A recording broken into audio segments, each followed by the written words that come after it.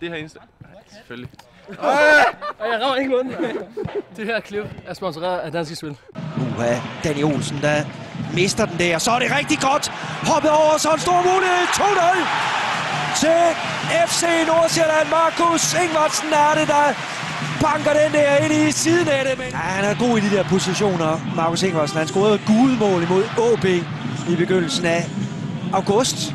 Jo, men hvis han lige får sådan en bold her, der er han altså skarp. Der er han en rigtig angriber.